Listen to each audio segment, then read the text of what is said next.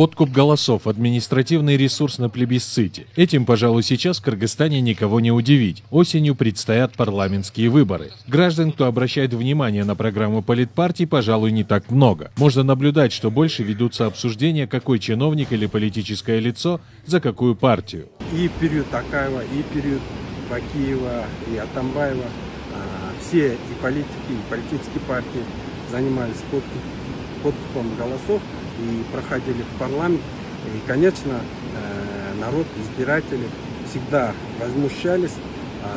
И э, сегодня э, поставлена точка, думаю, над этим негативным явлением. Говорить, что эти негативные факторы искоренены, не приходится. Как показывает практика, ни одно дело не дошло до суда. Сейчас меры ужесточают. Согласно новому закону, подкуп или продажа голосов на выборах будут одинаково наказуемы. В незначительных случаях нарушитель обойдется штрафом. В более тяжких обстоятельствах предусмотрено до двух с половиной лет лишения свободы. Ответственность, которая предусмотрена в законе, это штраф от 180 до 220 тысяч сомов.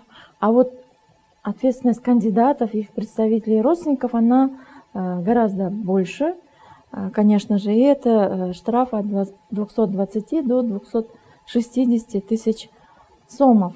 Еще один главный пункт документа коснется чиновников, злоупотребивших должностным или служебным положением. В случае вмешательства в деятельность избирательной комиссии с целью повлиять на ее решение, либо преднамеренной попытки нарушения работы или фальсификации данных государственных систем, государственный или муниципальный служащий в лучшем случае должен будет оплатить штраф в размере 30 тысяч сомов, в противном лишиться работы. Кандидат на определенную должность предоставляет заведомо ложные сведения – например, касающиеся гражданства а, или а, других каких-то аспектов, например, судимости. То есть тех аспектов, которые препятствуют ему баллотироваться кандидатом, он утаивает их, либо дает заведомо недостоверные сведения об отсутствии таких препятствий. Если это нарушение совершено лицом, которое уже занимало определенную а, должность государственным, муниципальным служащим, то в дополнение к штрафу, который предусмотрен для всех добавляется наказание в виде запрета заниматься, а, занимать определенные должности.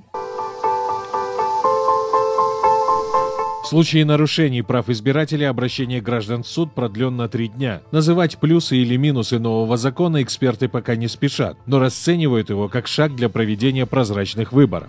Граждане должны сами проявить активность и сами должны э, требовать исполнения закона. Ну, если брать прежний опыт, то мы видели часто, когда за какие-то материальные ценности избиратели э, пытались продать и как бы отдавали свои голоса.